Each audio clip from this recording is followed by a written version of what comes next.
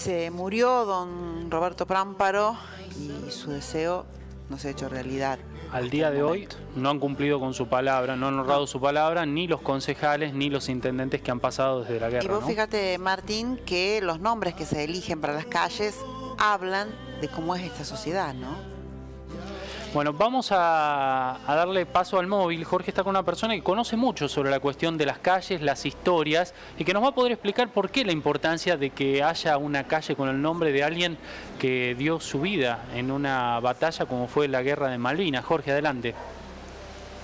Sí, estamos, Martín, con Remo Presbiterio, quien ha lanzado hace muy poco eh, una obra realmente magnífica donde está plasmado eh, el porqué del nombre de cada calle de la ciudad de Río Cuarto. Y a él justamente eh, le vamos a transmitir tu inquietud y también preguntarle qué fue lo que presentó en el mes de febrero cuando comenzaron las sesiones del Consejo Deliberante. Remo, eh, buenas tardes y bueno, coméntenos, ¿qué dispuso en el mes de febrero?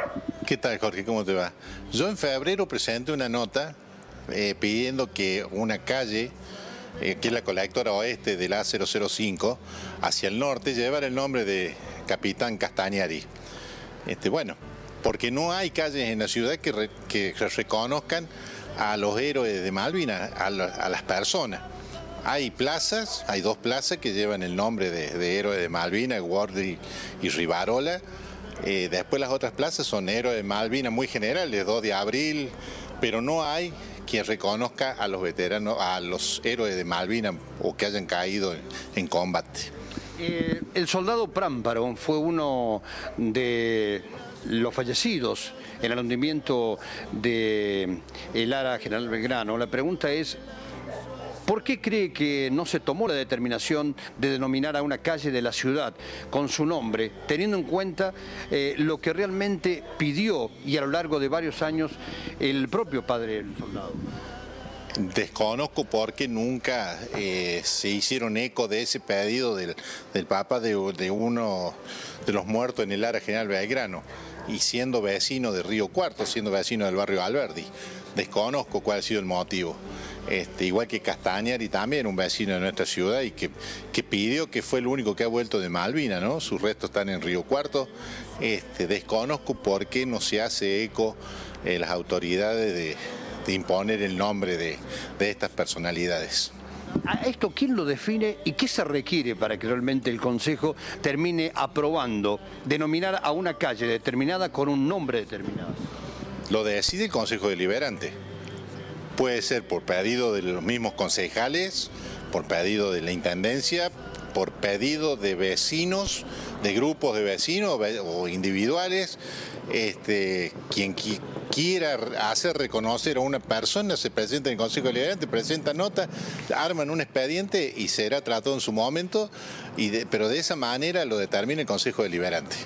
Bueno, ya mañana es 2 de abril, no obstante todavía se está tiempo para que tal vez eh, se pueda definir con el nombre de Soldado Prámparo o eh, Capitán Castañari algunas de las calles de la ciudad de Río Cuarto que quizás no están todavía con nombre. Cuando yo presenté el nombre de Castañari pensaba en los 40 años de, de la gesta de Malvina, que hubiera sido una linda fecha para haber impuesto este nombre y otros más, ¿no? Este, pero bueno, no se han hecho eco.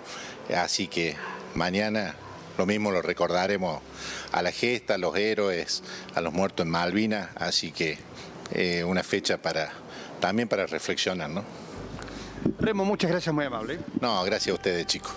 Bueno, la palabra de Remo Presbiterio, quien eh, conoce y mucho de los nombres de las calles de la ciudad de Río Cuarto y quien eh, justamente presentó en el mes de febrero esta iniciativa para que algunas calles de la ciudad lleven la denominación de quienes siendo de la ciudad eh, han fallecido en Malvinas, pero que aún no tienen ninguna calle con su nombre. Ojalá que finalmente las autoridades, el Consejo Deliberante se haga eco de este pedido. Ojalá. es algo que le deben a la familia de Edgardo Prampa. Así Se es. lo prometieron en- eh, a, lo largo de Así es. 40 años Y y, que no lo han cumplido. Y además es Y importante... que cuesta gracias- tan poco, ¿no? Así es, así es. Gracias, Jorge. Además es, es tan Gracias, importante, ¿no? Porque semana. en el nombre de las Chau, Jorge. calles también está el ejercicio de memoria. Va a haber gente que va a nacer, va a vivir en esas calles, o va a transitar por allí, se va a preguntar quién fue Edgardo Prámparo y allí cada persona, Claro. cada vez que se lo Claro. pregunte, va a homenajear y va a conocer a un héroe de la patria, ¿no? Claro. Y Remo Previsterio presenta el proyecto. Bueno, esperemos que, que se haga algo.